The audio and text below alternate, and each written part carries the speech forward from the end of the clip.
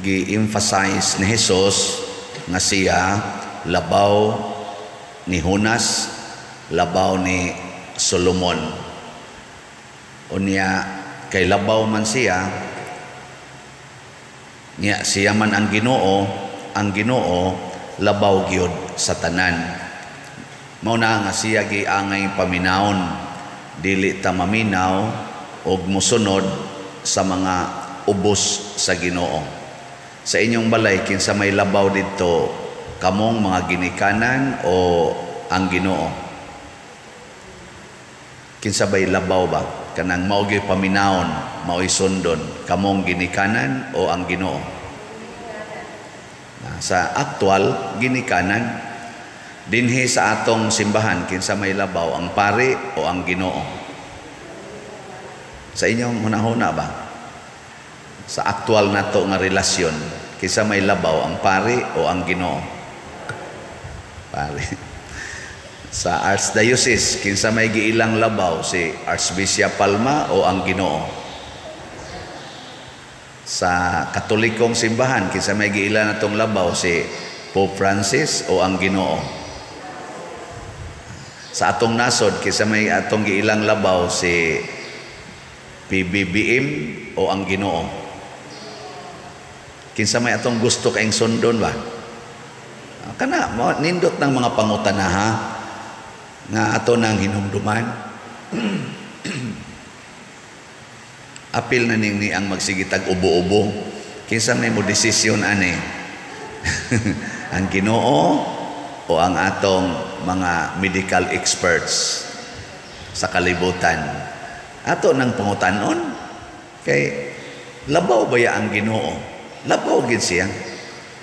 Sa Russia o sa Ukraine, kinsa may labaw ron dito, si Putin o si Zelensky o ang Ginoo. Kana mao na diri sa unang pagbasa niingon ang Ginoo, inyo naman kung gisalikway, gipul-an naman mog paminaw nako, ako ra bay galuwas ninyo pinaagi sa iyang pulong o gahom nga gisunod sa mga Israelita naluwas sila gikan sa kaulipnan tungod sa pulong og sa gahom sa Ginoo nga gidala ni Moises, ni Aaron og ni Miriam. Unya pag-abot na didto sa yuta nga gisaad sa Ginoo nga kuan na kay sila kana ganing gamhana na kaayo, uy, din aman mo sunod. Ah, mao nang niingon ang Ginoo, gipulan na mo paminaw sa akong tingog. Sige, ikiha ta mo na ako'y kiha ninyo. Diin man ang iyang kiha, ay, nindot kay siya gikihaan ang mga bungtod, ang mga dagat, maoy iyang giki- dito siya nikiha sa mga bungtod, sa mga dagat ug ang kina pundasyonan kuno sa kalibutan maoy iyang gikiha. Aw dito siya nikiha ba? Dito siya nidangop ang Ginoo. Ing siya paminawan ninyo akong kiha. Unsa may pasabot ani? Nga kung di ta maminaw sa Ginoo o di na kita mosunod niya, mga guba ang atong bukid, mga guba ang atong dagat, mga guba ang pundasyon sa kalibutan. Og mo krisis ang tibuok kalibutan. Karon, mauna ni, doon na pag umaabot ani, kung di na kita maminaw sa Ginoo, napay daghang moabot. Ah, kamo lang ko, sa inyong balay, kamo mga ginikanan. Sige, sundagin ang inyong style nga ang kwarta gyud mo ay number one. Nya mag-inom anang pills, magpalaygit, magpabasiktomy, magkondom. Haron lang gyud ang kwarta mo daghan. Kana sunda na. Di ba mahibong ka nganong nangabit na ning akong asawa, laygated naman. Di okay na, mutilaw bisan kinsa.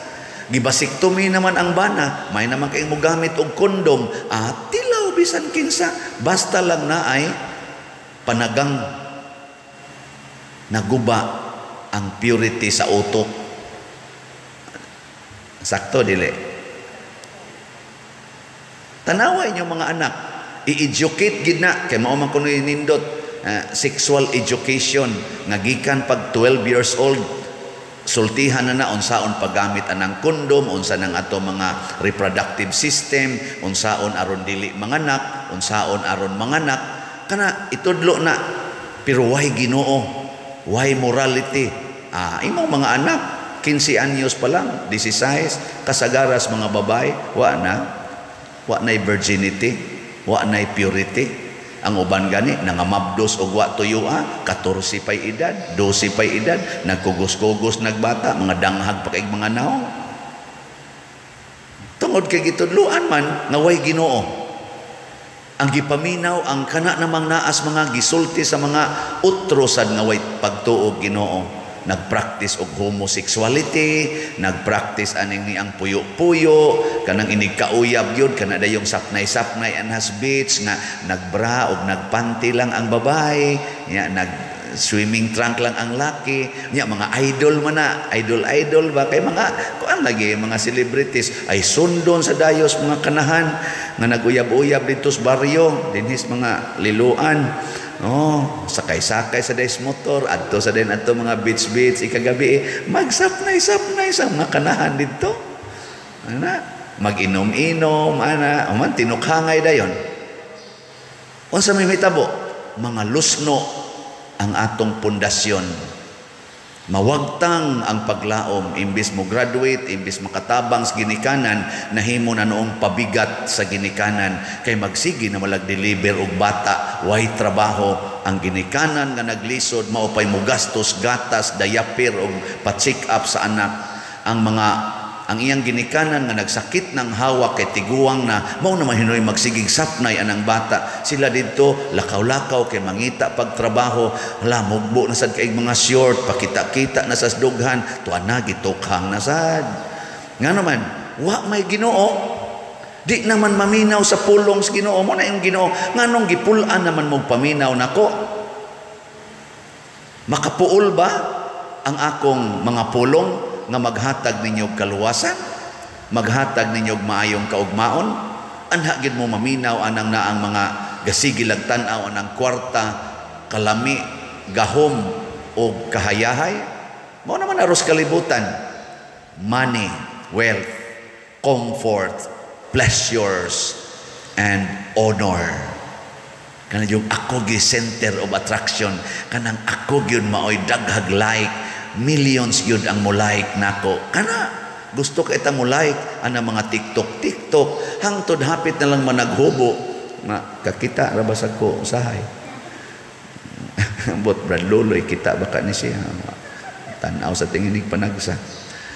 Uh, ngano na, aron daghan lang yung mulike, daghan lang, bahala nag, bahala nag kuana ning amo, yawa-yawa na ni, basta daghan lang mo view, Wa na mo ingon, bahalag way mo like nako. Basta ang ginoo nalipay nako. Mao na si Hunas gi pasok ilawom sa isda kinsa may mulike nimo didto tulo ka adlaw tulo ka gabi didto ilawom sa tiyan sa isda kay gilabay siya sa dagat kinsay mulike pero nagtuma na siya sa pulong sa Ginoo naka-convert siya og usa ka syudad nga dako kayo nga patyuno na untas Ginoo kay makasasala kayo ang Ninibe. Mao nang ingon si Kristo ang Ninibe mo bangon unya mo sudya ninyo kay naminaw silang Hunas. Why ni like ni Hunas? Pero kay nituman siya sa Ginoo nahitabo hinoon ang tibuok yung sudad ni like niya. Gilabay ra to siya dagat. Nagmahay gusto siya, gusto na lang gud siyang magpakamatay. Ana. Pero labaw pa si Jesus ni Hunas. Daghan sang nilike ni Solomon. Nga naman, kay si Solomon naggamit sa wisdom of God. Ang iyang gipangayo, wisdom. Isa tagay kung kaalam nga. Yung ginawa, sige tagaan, ti kaalam. Paghatag nas kaalam, gisunod gito ni Solomon ang kaalam sa ginoo. Sus, tibo kalibutan ni like. Hangtod good ang kanini ang katong queen, queen sa south ni travel og katunga sa kalibutan from south to north amo tingal ito from east to west ba basta katunga sa kalibutan iyang gi iyang gi baktas aron lang maminaw sa wisdom ni Solomon. Diin to gikan iyang wisdom nga gigamit gikan sa Ginoo. Sus na usab man ang timpla ni Solomon. Kay kailan mong Solomon? Anak man ni Hari David. Anak ni Hari David ni Batseba kadtong asawa sa sundao ni David nga iyang gikabit una ang iyang gipamabdusan ang asawa niya gipatay niya ang bana. So anak ni sa babae nga diin si David nagpakasala atubangan sa Ginoo. Pero gipasaylo siya mo nang gitagaan siya anak nga si Solomon. Unya ni nahimo pag yung successor niya isip hari tingali kining kining gitawag nato ba? Og jin, jin ba? Jin unsa man ang jin kanang ana sa tong dugo ba? Sa naa na siyang gene para nang imong anak o imong mama diabetic. Naa na imong gene ang pagka-diabetic. Imong imong ginikanan himalikas. Naa na imong gene ang pagka-himalikas. Ang imong ginikanan marites. Naa na sa nas imong gene ang pagka marites ingon na ba? So kanang sala gene pud na siya mo bitaw si Adan og si Iba. Na amon to sila'y sala gitawag itong original sin. Ana asas atong jin ang original sin nga mapapas panahon sa bunyag. Mao to nga nitapot ang sala ni Solomon. Pag nindot na gyud kayo siyang gingharian nga murag siya naging number one. Pinakadato pinakamaalamon pinaka sa pato pinaka kaning powerful Unsa may nahitabo? Iya na sang gitubag ang iyang tawhanon nga panginahanglan. Unsa may una kinahanglan ang lami gyud pleasure, sexual pleasure. Motong nangasawa siya 700 kabuok, nangabit siya 300 kabuok na mga pagano. Ug didto ni apil na siya simba-simba sa mga pagan gods and goddesses nga maoy gods and goddesses sa iyang mga kabit or gitawag na mga pagans nga mga asawa. O nawa ng iyang wisdom, ang gisunod na niya, ang gisulti na sa iyang mga pagans nga asawa. Porting sukuas ginoo, gilusno ang gingharian ni Solomon. Lusno. Basta di na lagi maminaw sa ginoo, malusno yun. Kanang inyong balay, gusto mong ligon, pamilya stable, kining atong parokya mahimo ning stable maminaw tas Ginoo. Sundo nato ang Ginoo. Sa may gisultis Ginoo usa na ni ana pamalit mog slat. Kanang inyong kwarta gamitan na sa pagtabang sa kalihukan sa simbahan. Kanang tinuod yung kalihukan sa simbahan sama ani karong kalihukan nato ni Bishop Chupilo Kamumot Thanksgiving. Dako kay ni grasya kay uma ug mahitabo gini as plan. Dako kayo ang crowd no? Ma-enrich sa grasya sa Ginoo gikan sa panigingnan ni Bishop na karon Venerable Chopilo Kamumot. Ug dako kay nig-impact sa pagpalambo sa tong pagtuo kung gamiton gyud nato ang Dios non nga pag-celebrate which I think mao man gyud ang tumong niini ngong Thanksgiving. Usara ni ka-event, pero gastuhanan, nga naman, ang ang masag ang ginoo mo imong pabayaron sa accommodation o sa ganing pagkaon na kita may muluto. So, kita mo bayad, pero dunay grasya nga nagpaluyo diha. Kinsa tong mutampo ni ini, matod pas ginoo, akong pilo-piloon ang inyong mga grasya. Bakakon ba ang ginoo? Dili. Natuman ba ni? Of course, di na nimo pangutan anang daghan kay mga tao diyan gasunod sa Ginoo usa ra gid testimonya bisan kay dinis ato na am gani pamilyang ni ari diri luha-luha gyung mata pader ni saad palang gani mi pader nga mohatag mi daghan da jud kaing grasyang niabot pader. Sulbad gyud ang among naguna nga problema nga nakapastress namo. Ni saad pa lang sila nako unya inyo nang gituman sa upadong na mis opisina pader. Mo palit na mi. Ah, nako unya di na matuman. Muundang na sad mo? Mo na sa itong style ra ba? Og di sad matuman muundang. Ayaw, padayon. Gitawag na siya perseverance, consistency, fidelity, loyalty, faithfulness. Mo'y tawag ana. Mo na gikinahanglan sa Ginoo. Ana si Jesus, ingon siya, bisag ilubong pa ko siyuta, okay ra gina nako. Di na lang ko nang milagro-milagro nga gusto kay inyong tanawon. Tanawa lag unsay mahitabo nako kun ilan akong ilubong sa yuta. Mubangon ko tungod kay naay Ginoo.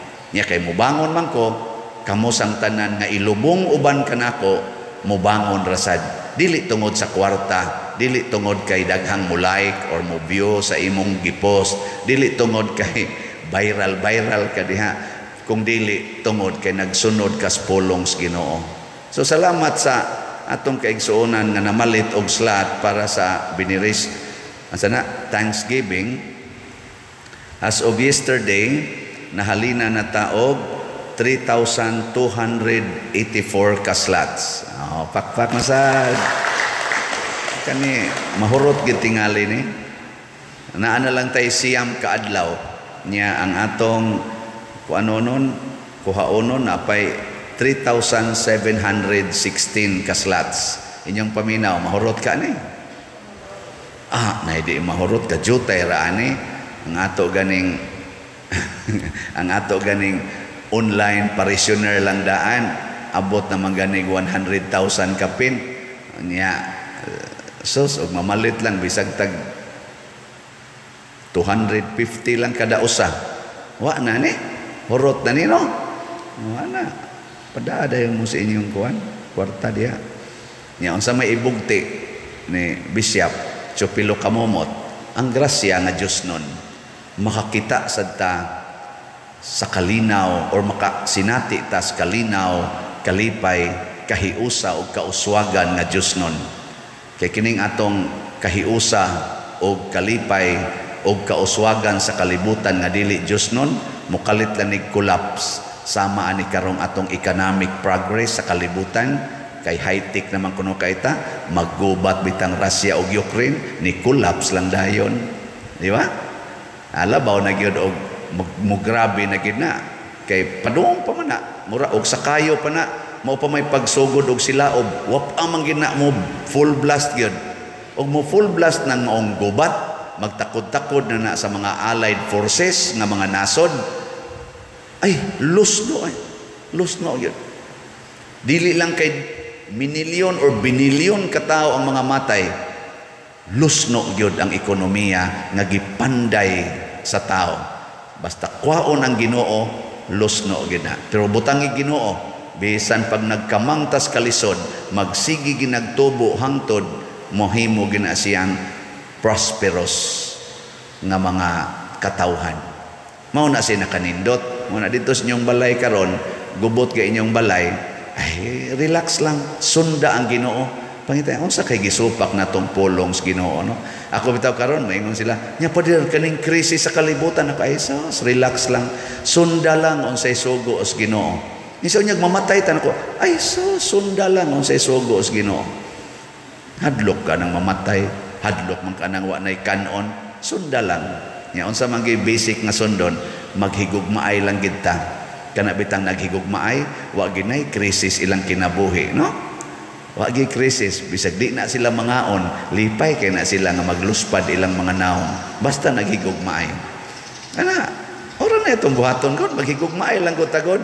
Kamo sa inyong pamilya, paghigugmaay mo, ay mo pag sig-away, sig-away anang kwarta, paghigugmaay, ing nadayon nga, you and I, in crisis, but in love, ay sos, malipayon. Ako bitang uyab sa una, eskwela pa mi. Ang iyang kuan, ang iyang kwarta, 50 tabos na lang. Wa mi snacks-snacks, igawas na mo, igulis ilaw. 1.25 may plite. Ang sao maron ani, ah, ihatag na ko akong piso. Nya kayang plite sa nako ngadto, piso man, diwa na ko'y plite. Ay, ah, iniglakaw niya ngadto, ah, lakaw din ko padong sa amo, upat ka kilometro. Yang anong galakaw man kong malipayon, nakahatag kog kalipay sa akong gihigugma. Oh, di ba? Sana all. Ah. Hmm, resulta gibuwagan ra man gyapon ko. Sige na, manindog na ta.